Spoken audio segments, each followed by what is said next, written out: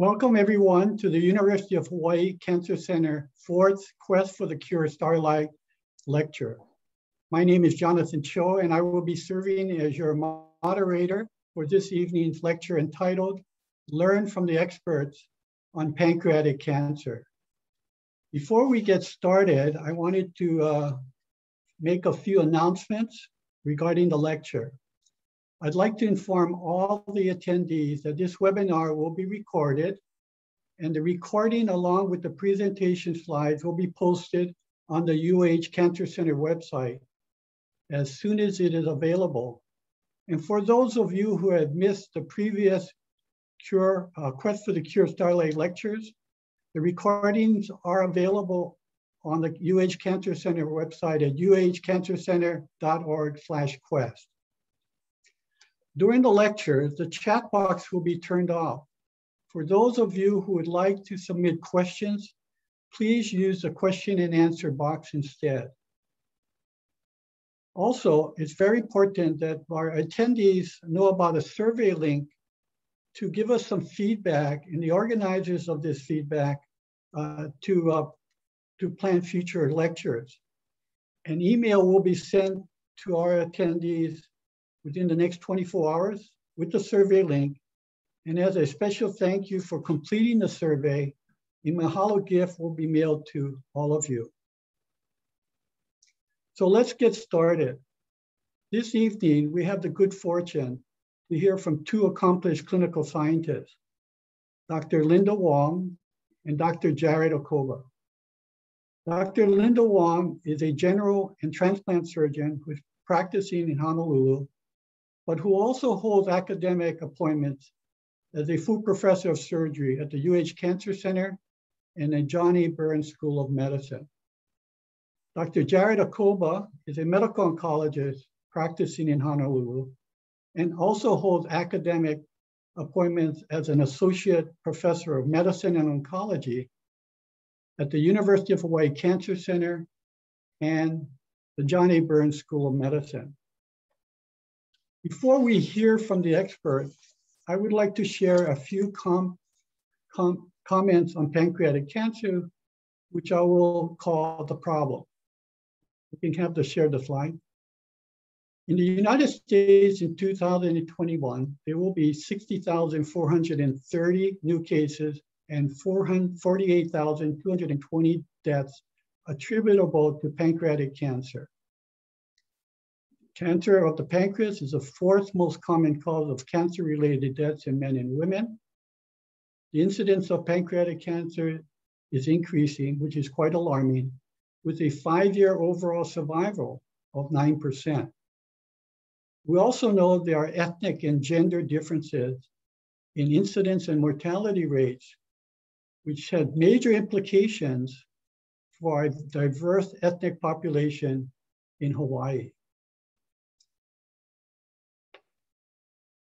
So at this time, and that had been a springboard, I would like to turn the virtual lectern over to Dr. Wong, who will speak to us tonight on pancreatic cancer and surgery. Dr. Wong.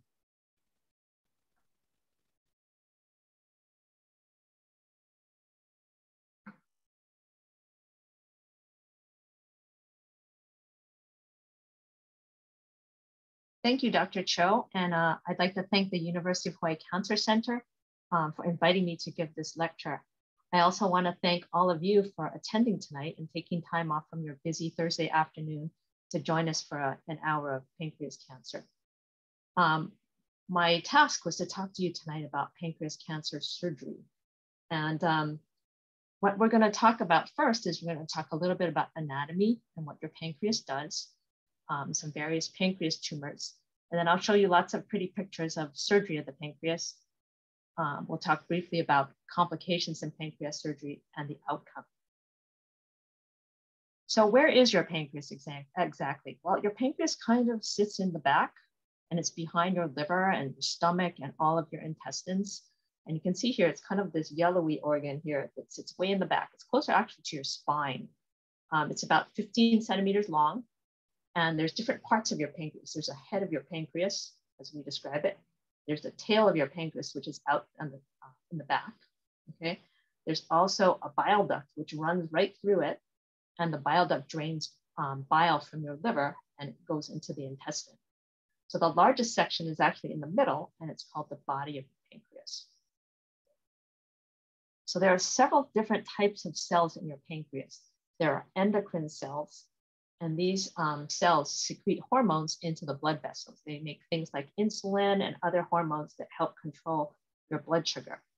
There are also other cells in your pancreas called exocrine cells, which secrete um, pancreas enzymes, and it um, drains all of your enzymes into your intestines so that you can digest your food. So as we mentioned, um, your pancreas has two functions. One of them is endocrine, it's to make the insulin and the glucagon, which help control your blood sugar, and exocrine function, which um, these are glands that are attached to your pancreas duct. And the pancreas duct is also attached to your duodenum. And enzymes are released and helps you digest food. There are various diseases of the pancreas, including pancreatitis, and um, pancreatic cyst, but what we're going to concentrate on tonight are malignant tumors of your pancreas. Um, within that, there are cystic tumors, um, and there are also solid tumors. And the two main ones are neuroendocrine and um, pancreas cancer, which is the common cancer that we all know about. So here's our picture of the pancreas again, and um, the two different types. One is adenocarcinoma, which is a gland cancer, and a neuroendocrine tumor, which is a cancer of those endocrine cells that we talked about. So the types of surgeries that we do for your pancreas are um, in two main areas. One is potentially curative, um, and we do these for patients in which we do many tests, and all of the testing suggests that the cancer is localized to the pancreas. And surgery is done to remove all of the cancer. Now, for those patients who have cancer that spread to other areas, we do what's called palliative surgery. And surgery is done to relieve symptoms, but not cure the cancer. And what we're relieving is uh, intestinal blockage. Uh, we might do this to stop bleeding, and we might do this to relieve bile duct blockage. So what surgeons often do um, before we do the any type of surgery is we do this thing called a staging laparoscopy. So what we do is we put, while you're asleep, um, and you need general anesthesia for this, we put in a camera into your belly and we look inside. And this allows us to assess the extent of the tumor. So we're just basically putting cameras in you. And what we see on the inside is we can see small lesions that might be on top of your liver um, that may preclude us from doing any curative surgery. And sometimes the x-rays that we do are not really good at seeing these tiny little things. And sometimes they're the size of little sesame seeds. So the laparoscopy allows us to look around and see that before we make a bigger incision. Um, staging laparoscopy can also identify peritoneal implants. So sometimes if people have tumor and it's um, stuck to the wall of your abdomen, you can kind of see here these little seeds that are here. And again, this precludes curative surgery. So if the staging laparoscopy shows that um, cancer is spread outside of the pancreas, this prevents the surgeon from curing a patient. And so if we find something in the abdominal wall or in the liver or elsewhere, then we stop the curative surgery. So some of the surgeries we can do after the staging laparoscopy is we can do something called a distal pancreatectomy. And this is done for tumors in the body and the tail of the pancreas. Um, we can do um, a Whipple procedure, which is named after the doctor who described it. And this is a pancreaticoduodenectomy. And for this is tumors at the head of the pancreas. And in some cases, um, we can remove the entire pancreas. So what we do in a distal pancreatectomy is tumors that are out in the tail and maybe the body of the pancreas. So we are surgically removing this part of the pancreas. We also take out the spleen because the spleen is usually um, right next to it, and it can also um, have cancer cells right near the spleen. And you, you, can live without your spleen. What your spleen does is it makes antibodies and it breaks down old blood cells. And um, people live perfectly fine without their spleen. Now, this Whipple procedure is a much more complex thing, and this is for tumors that are at the head of your pancreas. Um, I'm going to show this to you step by step what we do. So this is your normal anatomy before surgery. So you have your stomach and it goes around to this part of the intestine called the duodenum. And the head of your pancreas is right here. This is where your tumor is. So the goal is to remove this head of the pancreas. So what we do is we, we are removing this part of the pancreas, we're removing the bile ducts. We're also taking out your gallbladder here because we don't really need that. And we're taking all of your duodenum. So you're kind of left with some pieces. You're left with front half of your stomach, some intestine, and a bile duct just hanging out there. Um, the next part of the procedure is the reconstruction. And what we have to do is we have to connect something to this pancreas so it can drain. We have to connect something to the bile duct so that your bile can drain. And then we're connecting something to your stomach. So I usually tell patients that I'm basically rearranging the furniture. Now, if we can't do those curative surgeries, we sometimes do palliative surgeries. And the goals of palliative surgery is to relieve bile duct blockage and to relieve your stomach blockage. So there, um, normally what happens is that bile flows through your pancreas and goes into your duodenum. And um, this pancreas cancer can block the flow. And when it blocks the flow, then bile is basically stuck inside your liver and it makes your um, eyes yellow, it makes your skin yellow, it makes your urine really dark. It also makes you really itchy. And so ways we can um, relieve the blockage, we can do it with a gastroenterologist, we can do it with a radiologist, or we can do it with a surgeon. So what um, an endoscopist would do, this would be a gastroenterologist, is that they would put a scope down your throat into your stomach, and then they would go all the way to your little opening where the bile duct is coming out. And they would put in a stent inside your bile duct. And this is either like a plastic straw or a, a thin metal tube, which they can use to relieve the blockage. If we have the radiologist do it, what they do is they stick a needle through your liver they find your bile duct and they put a little wire down here, and then they put a little metallic tube across your bile duct. Now, if a surgeon does it, we just cut off your bile duct here and we bring a loop of intestine up here without taking out the rest of the thing, like a Whipple procedure.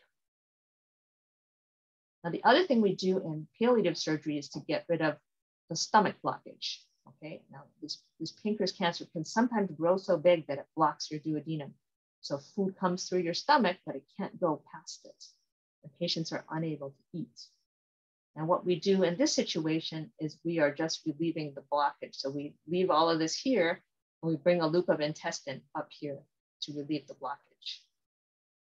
This can also be done by a um, gastroenterologist.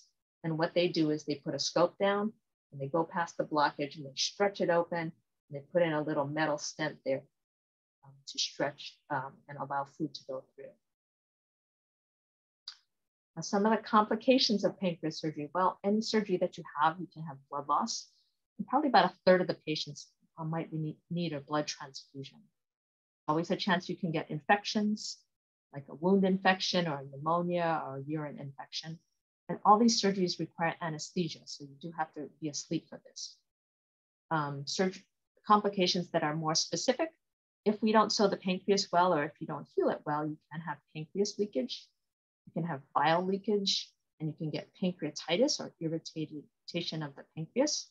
And sometimes the stomach doesn't like you're operating on it and it gets a little slow at um, digesting foods. So these are all things that can happen um, after pancreas surgery. Now, the long-term consequences, sometimes people lose some weight from this. Sometimes they get a malnutrition. Um, they may not absorb the fats as well. And sometimes we have to give patients pancreas enzymes so that they can absorb food a little bit better. Um, about 15 to 30% of patients end up having diabetes after this operation. And some of it is because we're taking out some of those pancreas cells that make your insulin. And there's always a chance your cancer can come back. So in terms of outcome, about two to 4% of patients are gonna die related to some sort of complication from pancreas surgery. Um, the five-year survival after pancreas surgery is about 30%. But kind of keep in mind that without any surgery, your five-year survival is probably in the order of five to 10%. However, only 15% to 20% um, of patients can actually receive surgery because the vast majority of cancers are found a little bit late and we are unable to do surgery for them. I'm going to give you some patient examples. I'll keep in mind that these are not HIPAA violations because I found this all on the internet. But there are some famous people that have had pancreas cancer. Um, the first one is um, the, the Supreme Court Justice Ruth Bader Ginsburg. She was initially found to have a pancreas cancer in 2009, and she had a distal pancreatectomy and a splenectomy. She did really well for about 11 years, but she had a recurrence of her pancreas cancer and she was treated with radiation. She eventually died in 2020. Um, Patrick Swayze from our old favorite movie, Dirty Dancing, um, he presented in 2007 with digestive problems and weight loss. His risk factor for this cancer was that he was a smoker. He was found to have advanced pancreatic cancer and was not a candidate for any surgery. He just had chemotherapy and subsequently died. And then everybody's favorite game show, Jeopardy. Um, as we all know, this was in the news recently. Alex Trebek, he was diagnosed with very advanced pancreas cancer in 2019. He only um, received chemotherapy and he eventually passed away. Um, Michael Landon, this is um, from the old Little House on the Prairie movies. He was diagnosed with pancreas cancer at 54, and his cancer had spread to the liver even at diagnosis. And this particular article that I found, they thought it was uh, his, they were questioning if his cancer was related to being um, his being near a nuclear laboratory. Finally, there's Steve Jobs, the, one of the co-founders of Apple. He actually had a neuroendocrine tumor, and his um, tumor was in the hormone-producing cells. He had a surgical treatment, um, and we, he was told that surgery was best, but he kind of opted for some alternative therapies first. He eventually had a pancreas resection. He had spread to the liver, and he was one of those rare patients that got a liver transplant for um, localized spread to the liver. But he eventually died from this as well. So in conclusion, there, um, there are two main types of cancer surgery. One is palliative, one is curative. And the type of surgery that we do is dependent on the location of the tumor. Surgery can be quite complex and only about 20% will have some type of complication. Most of the patients with pancreas cancer will have too advanced cancer to consider any curative surgery. And hopefully um, Dr. Acoba can enlighten us on some newer chemotherapy with the surgery that might be more helpful in improving long-term survival. Thank you very much.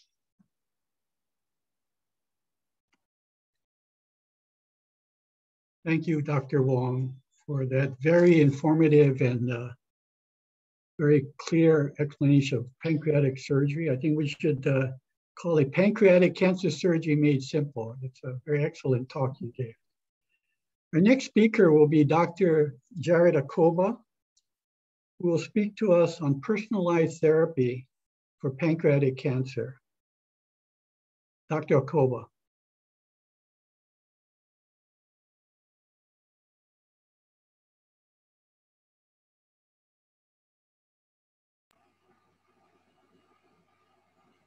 All right, thanks, Jonathan.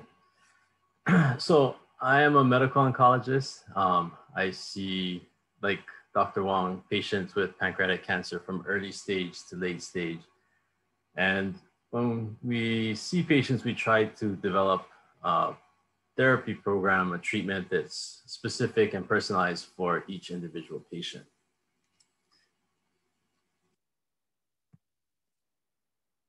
So tonight we'll be talking about uh, early stage cancer and advanced stage cancer.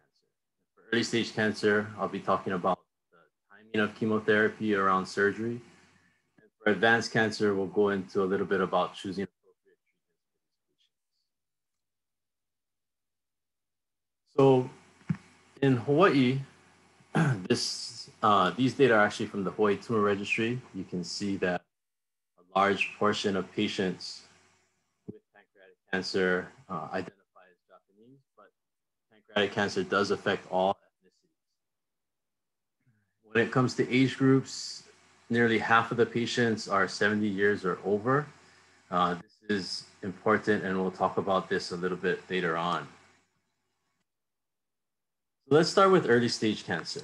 So early stage cancers are cancers that can be removed with surgery. Um, like Dr. Wong was describing, these are stage one or stage two cancers like the one depicted here, which is in the pancreas, invading into the small intestine.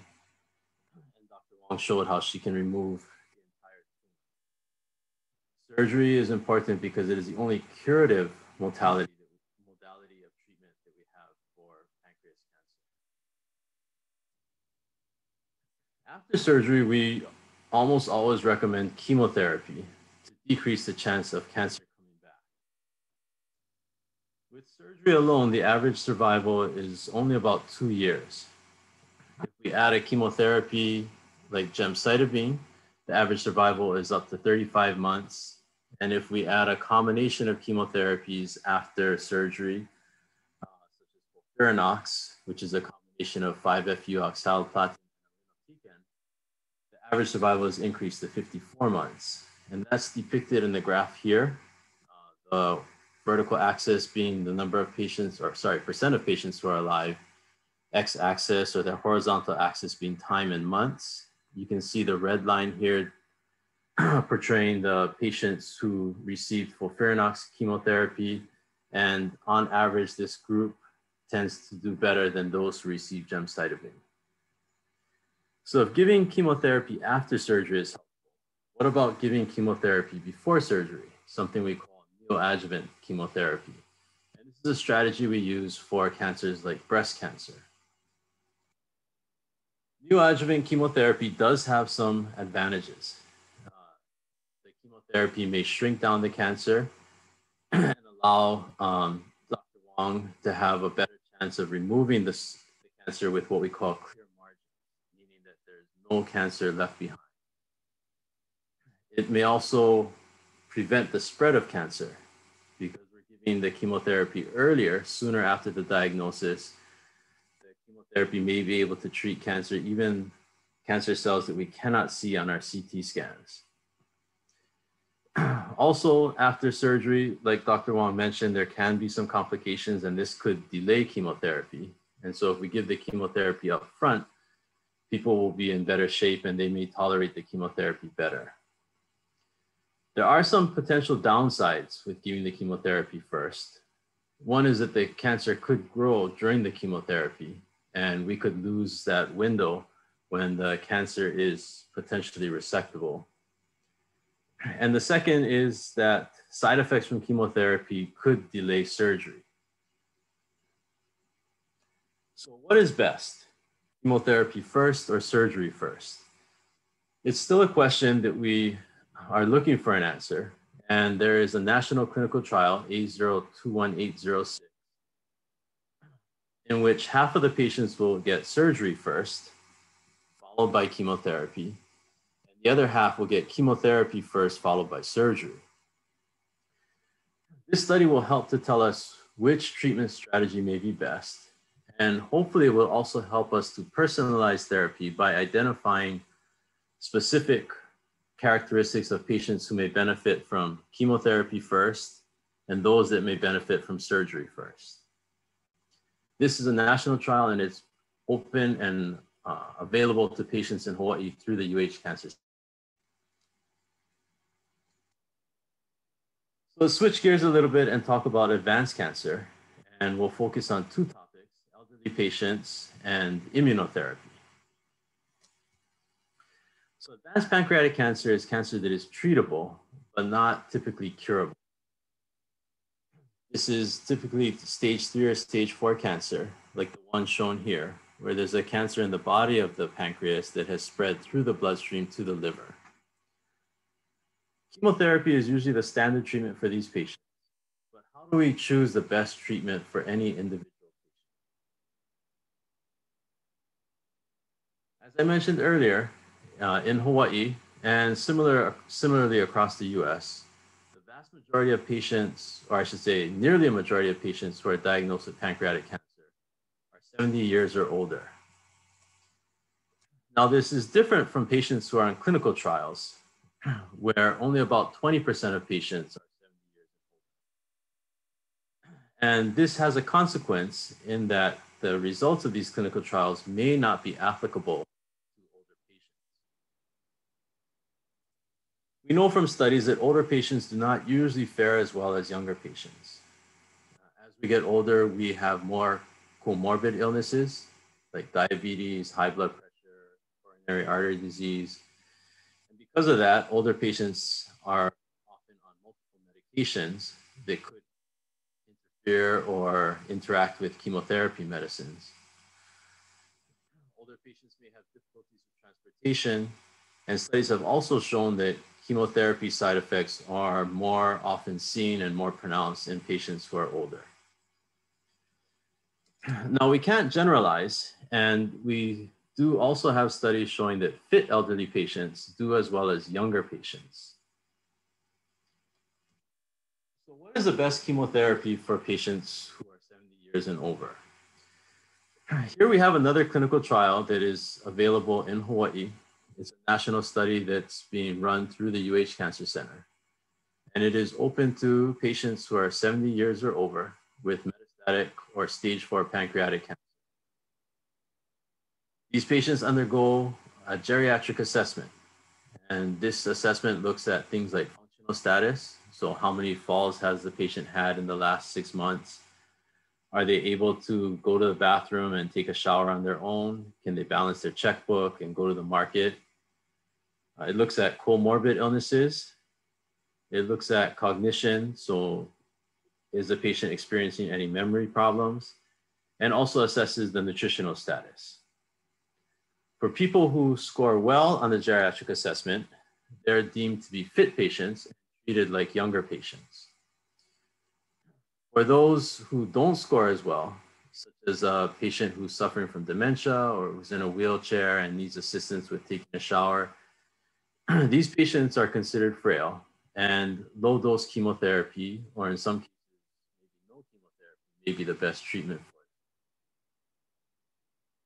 it. For those patients who are in between, they are characterized as vulnerable patients. And this trial is assigning half of the patients to receive a chemotherapy regimen of gemcitabine and nab-paclitaxel, seen in arm A, or the regimen in arm B of 5-FU and liposomal we're hoping that this study will show that the geriatric assessment can help to personalize treatment for elderly patients with pancreatic cancer. And let's finish up talking about immunotherapy. So immunotherapy is a hot topic. And what we, when we talk about immunotherapy nowadays, we're usually referring to immune checkpoint inhibitors. And these are medicines that remove the brakes and allow the immune system to treat cancer. So in this cartoon, you can see the T cell here on the left side. And the T cell is part of our immune system. And in this picture, it is recognizing the tumor cell as being something that's foreign and needs to be removed from the body. However, in this case, the tumor cell is expressing a protein called PD-L1. And this binds to a protein on the T cell called PD-1. This interaction serves as a break in the immune system and turns this T cell off. So this T cell cannot destroy the tumor cell as long as this interaction is taking place. And so what we've developed are medications.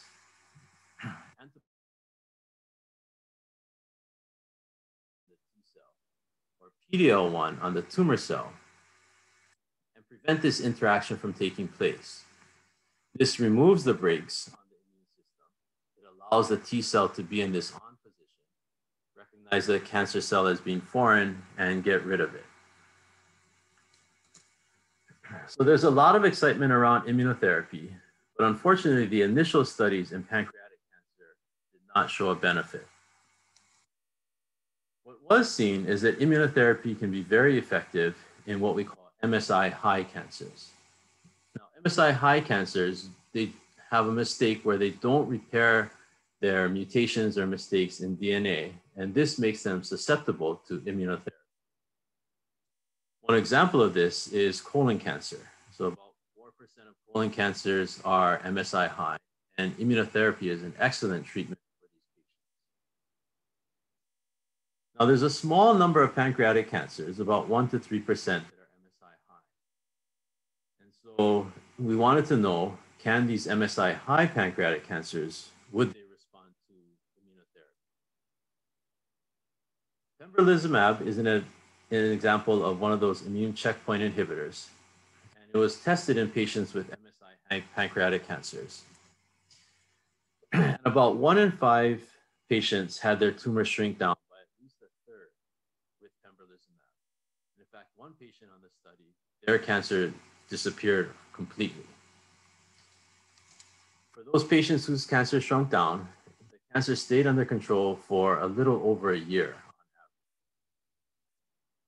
And so by identifying these cancers that are MSI high, it allows us to personalize treatment for patients with pancreatic cancer. Now, it's only a small percentage. but We're hoping that if we're able to identify similar targets in other cancers, we can also develop similar therapies. So in summary, adjuvant chemotherapy or chemotherapy after surgery improves survival for early stage pancreatic cancer. And we know that neoadjuvant therapy may offer some benefits. And so we have this ongoing trial comparing neoadjuvant and adjuvant therapy for pancreatic cancer patients. For advanced pancreatic cancer, we have ongoing research that focuses on personalizing treatment. So the geriatric assessment, we're hoping will help to identify which treatments are appropriate for which patients, elderly patients who are over 70. And we have found that immunotherapy can be effective for patients with MSI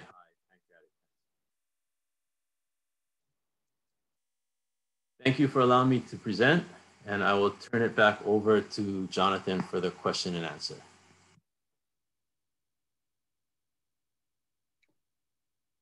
Okay, thank you, Dr. Acoba, for that excellent summary of where the field of the non-surgical treatment of chemo of uh, pancreatic cancer is moving. It's, uh, it's, uh, it's made some great strides, and I think immunotherapy and other forms of chemotherapy have changed. Hopefully, we can change the course of this disease. So we're going to move on now to the question and answer session. Um, please feel free to submit your questions to the uh, question answer box.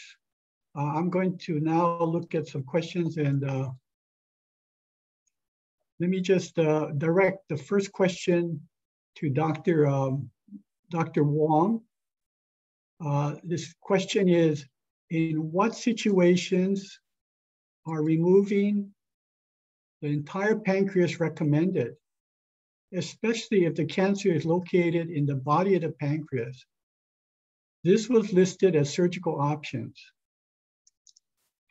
Linda?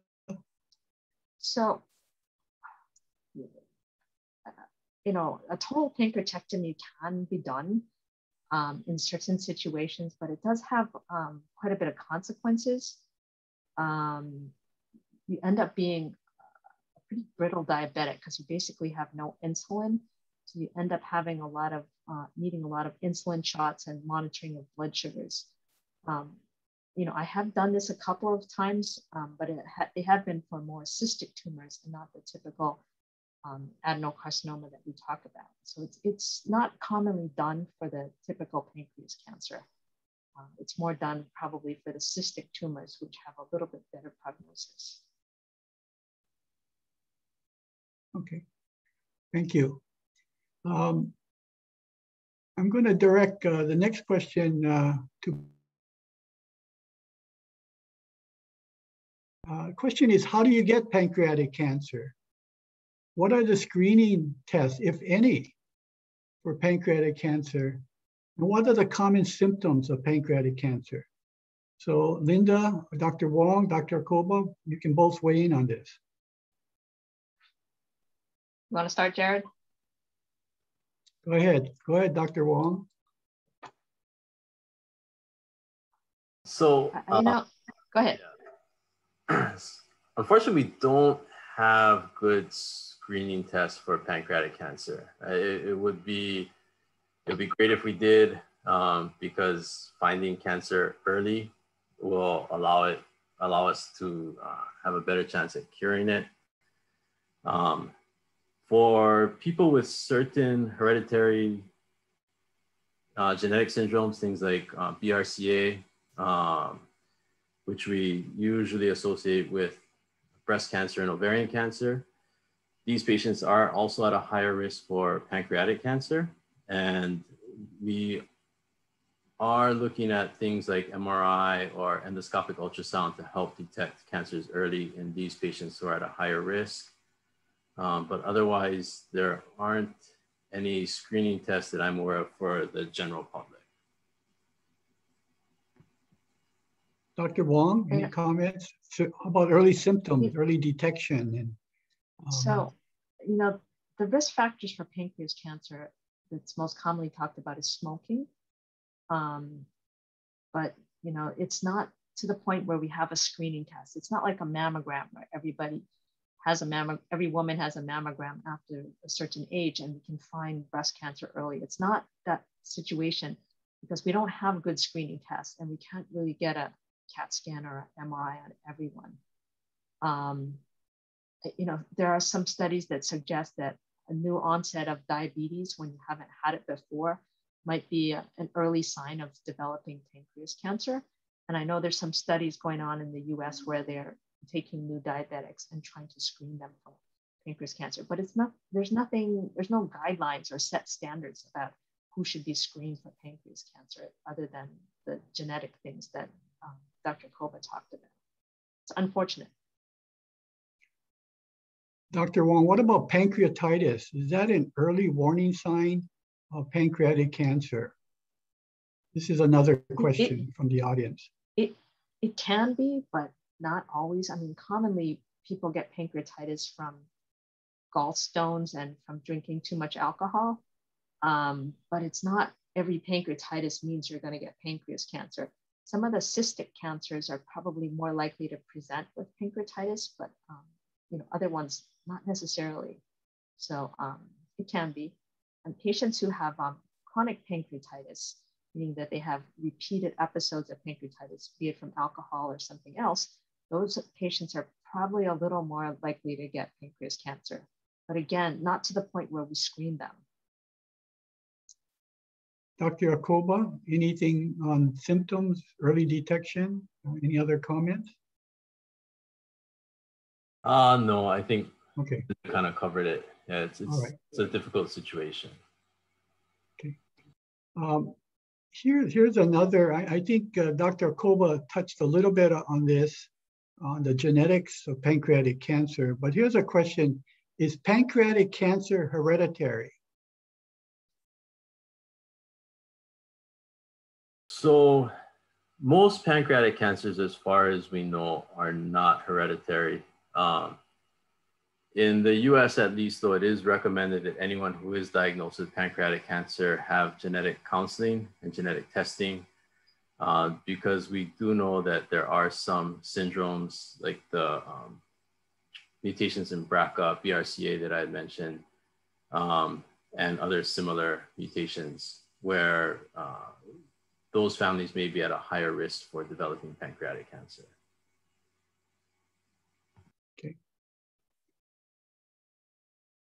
Um, let me uh, direct this at Dr. Wong. Um, we know that uh, patients have surgery, roughly 20% may have curative surgery. And you nicely discuss some of the complications of that. But there is a question here is about any type of effective nutritional therapy. And we can put it in the setting of postoperative or in patients who have had curative surgery. Uh, you uh, can you comment on effective nutritional therapy that you are aware of that might change, maybe lower the risk of recurrence, maybe improve survival, maybe limit the complications of pancreatic surgery?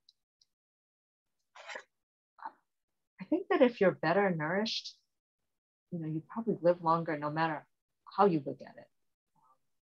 But I don't know that there's one particular nutritional therapy that will be prolonging your life by itself. I think a lot of these patients, when they come in for surgery, a lot of them are pretty malnourished. And if they've had chemotherapy beforehand, you know, that's another reason why they might be malnourished. And in general, you know, improving your nutrition you know, either with supplements or, or more intake or that will um, improve your outcome and that will probably prolong your survival. But I can't tell you that there's any specific, you know, type of nutrition that, that's going to be better than others. I mean, I, I, know there are a lot of new fad diets out there. And talk about the Mediterranean diet, and I have patients juicing and you know trying lots of different things. And I can't mm-hmm. tell you that one specific one is better than the other at, at prolonging your survival. Know, do you have any thoughts, Jared? No, I would agree. I, I usually tell people that you know the main thing is that you get in enough calories. Um, you know, if you have the luxury of being able to eat and tolerate anything, usually diets that are higher in fruits and vegetables are better. Um, but I don't think there's anything that you absolutely have to avoid. Thank you. Um, along these same lines of uh, surgery, and uh, you spoke of chemotherapy after surgery. Uh, here's a question. What is the life expectancy of someone who undergoes curative surgery? What, what can you, what do you tell these patients after they've had their Whipple procedure or total pancreatectomy or distal pancreas? Uh, what do each of you tell patients in terms of their life expectancy? Dr. Wong, Dr. Acoba, Hmm? I tell them that the five-year survival somewhere between 25 and 40%. You know, and a lot of it depends on nutritional status, the size of the tumor, and lots of other things. But I'll give them that ballpark. Um, and and, and um, you know, things change if they're better nourished or if the chemotherapy works for them postoperatively. Dr. Acoba, after you see a patient from Dr. Wong and uh, uh, talk with them about the benefits of chemotherapy after curative surgery, what kind of uh, uh, what kind of life expectancy do you uh, communicate to the patient? Yeah, again, similar to what Linda had said, um, I think one of the more recent trials that we had showed that surgery followed by chemotherapy with FOLFIRINOX, the average survival is close to five years. So um, it is getting better, um, but it, it's very dependent on the cancer and, and the patient.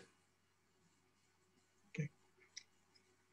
Here's an interesting question, uh, and I'll put it out to both of you. Are there any clinical trials for personalized neoantigen vaccines for pancreatic cancer?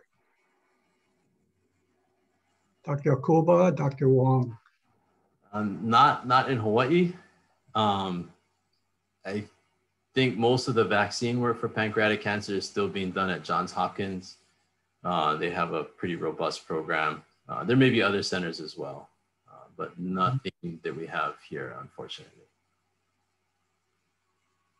Dr. Wong, anything about uh, those patients? Uh, you have the 1st crack at the tissue, I guess, don't you?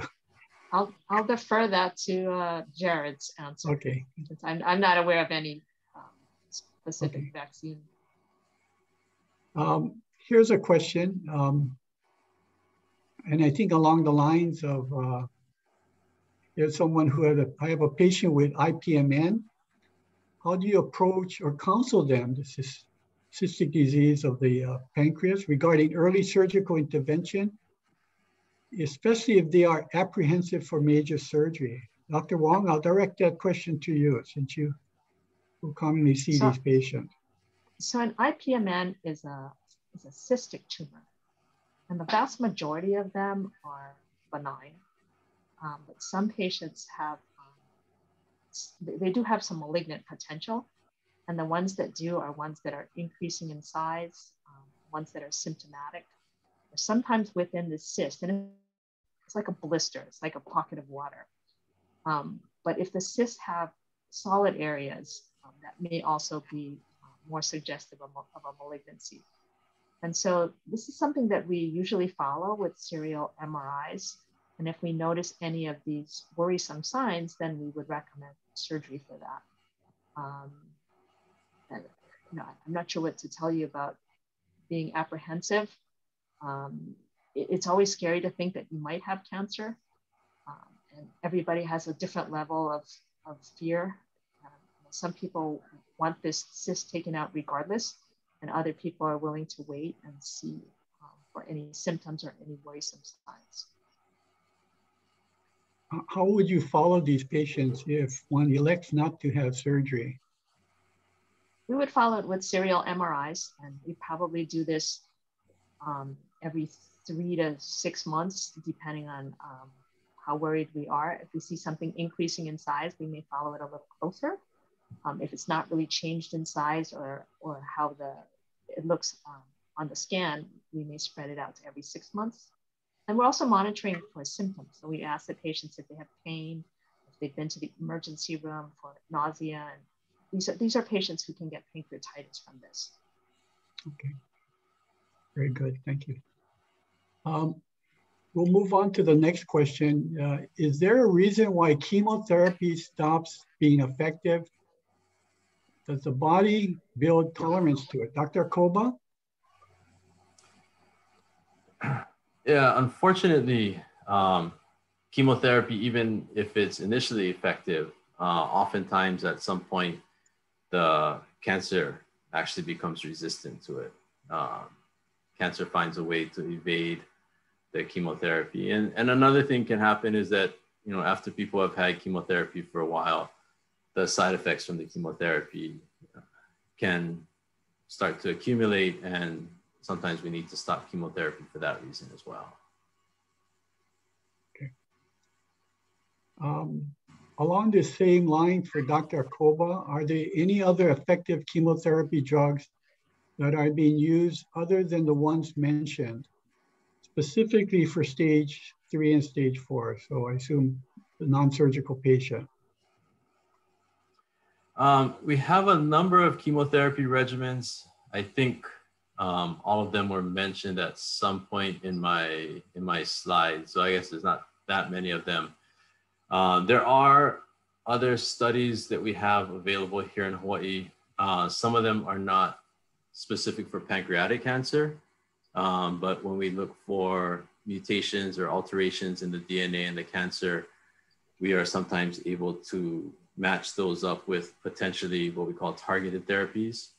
Um, and these are experimental, but there is uh, some scientific background behind it to uh, provide some rationale. So, so there's a number of potential therapies out there. Okay. Um, this can be directed at either or both of you. Uh, is obesity a risk factor for pancreatic cancer? And is there any studies on whether high sugar consumption or high cholesterol are causal risk factors? And I guess along the same line, is there any lifestyle changes that may decrease one's risk of pancreatic cancer? Both of you can weigh in on this. this. Uh, go ahead. I'll start with Linda. Linda Wong. Dr. Wong. Obesity, obesity is a risk factor for pancreas cancer. But I don't know if there's any studies on whether what you eat, high sugar or high cholesterol, are really specifically the problem or whether that increases your risk. I don't know. Jared? Yeah, not not that I'm aware of, not a direct risk.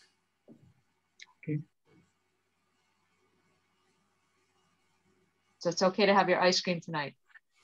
yeah. Good. Okay. Okay, there's a question. I think there's probably a combination, and this is going back to early detection, the importance of early detection, and uh, obviously because of uh, curative surgery and what we can do. But uh, the question is, uh, how is pancreatic cancer initially detected? Jaundice, abdominal pain, weight loss, and uh, along that same line, you know, what are the early symptoms or the common symptoms that one should raise, uh, both from a health provider as well as a patient standpoint uh, to, to raise the level of suspicion. Uh, and and uh, most of you can weigh Dr. Wong, because you see a lot of these patients initially, obviously. So cancers at the head of the pancreas typically present with painless jaundice. So patients get yellow and they get itchy, but they don't really have any pain. Um, and they're usually found a little bit earlier because it just takes a small tumor to block off your bile ducts. So we can generally find those. So I think that if you have itching that's all over your body and you notice that your skin's a little yellow or your eyes are a little yellow, that's something that should be alarming and that you should go see your doctor about that. Now, if you have a tumor that's in the body or the tail of your pancreas, sometimes these are not found until a whole lot later. And a lot of times they get presented when people have lost a bunch of weight or they have back pain or abdominal pain. Or sometimes if it gets really big, you can actually feel an abdominal mass. So cancers of the head are a little bit earlier, and those are the ones that are associated with jaundice. So if you look yellow or your family says you look yellow, you should go see your doctor. Dr. Acoba? Yeah, no, I agree with Linda. Um, jaundice, typically one of the earlier signs uh, that we see for pancreatic cancer, especially in the head, or particularly in the head.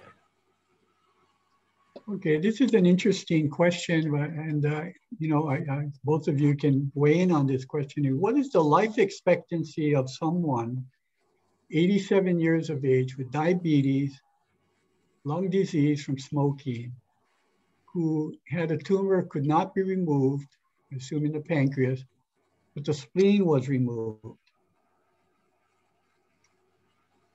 I don't know. That's all I have here. I'm not sure what the, uh, I, I, I, don't know if it's a patient was just uh, had an exploratory and or they could not remove it or they were not a medically fit patient for surgery. Um, but maybe I think that's reasonable to decide to how one would approach someone who has advanced, locally advanced pancreatic cancer or is medically not fit to have a curative surgery. How, um, number one, Dr. Wong, how do you make that assessment? And number two, Dr. Uh, Acoba, what would be the therapeutic options for that patient? I think, you know, reading over the question, it's always hard to predict life expectancy. I think they only do that on TV and soap operas. But in, in the real life, it's really tough to predict. And sometimes people live a lot longer than we think or, or we or we predict. And you know, we'd have to, you know, take each patient and look at the whole patient. Um, and even if tumor can't be removed, you know, that's maybe something that Dr. Acoba and his chemotherapy might be able to do something would, you know, depend. Not every 87 year old looks the same. So it's hard to make any predictions. Dr. Acoba, yeah. what would you offer this patient if uh, they showed up at your office and Dr. Wong had seen the patient and said, uh, you know, surgery is going to be a difficult. Well, it says spleen was infected and the pancreas could not be removed. That's the addition. So so, as far as um, management, this is something or someone for whom the geriatric assessment can be very helpful. Um, 87 years old with some comorbid illnesses, um, but also it'd be good to know in terms of functional status, um, what the patient's able to do on their own. Uh, and that may help us to make a decision in terms of uh, the appropriateness of chemotherapy and which chemotherapy medication might be helpful. Um, and another thing we hadn't discussed because it sounds like it may be a localized cancer uh, is radiation. So we talked about surgery and chemotherapy, but in some pancreatic cancers that cannot be removed with surgery, radiation can sometimes be helpful in controlling it. Okay. Um, so just one last uh, part to this uh, to this hour. I wanted to ask each of you, since both of you have been in the field for a long time, and both of you have treated innumerable cases of pancreatic cancer, uh, where do you see the field going in the next five years? And I'll start off with Dr. Wong in terms of any, you know, detection, therapeutics, research. Um, where do you see it going in five years? Where are we going to be? I think I would hope for early detection with um, something called a liquid biopsy. I'm hoping one day that we can draw your blood and figure out what kind of cancer you have just based on things that your tumor cells are going to release into the bloodstream. And I'm hoping we can find out more about the burden of your cancer and the extent of your cancer just based on um, a blood test. And I, that's what I'm hoping for. And so, you know, one day maybe when you go to the doctor, you would get your blood drawn when you're 40 and they'll tell you all the cancers that you have or you might get one day. And maybe we can, um, you know, try to find cancers early in those patients that have certain chemicals in their blood. And then maybe we can do better surgery, earlier surgery, just because we found them earlier. That's what I'm hoping for. Dr. Acoba? Yeah, no. Uh, similarly, I think early detection is um, where I hope we'll make our next uh, really big steps. Um, I don't think that we can do much more as far as chemotherapy. Um, you know, the more medications we add, the more toxicity we come across. And so if we're able to find cancers earlier, hopefully it'll mean less treatment, less side effects. Um, and like Linda was saying, there are some tests that if they're not commercially available, they may be soon. Um, although I'm not sure the data are uh, 100% confirmatory, but they will look at uh, the possibility of identifying cancer DNA in the blood. Okay.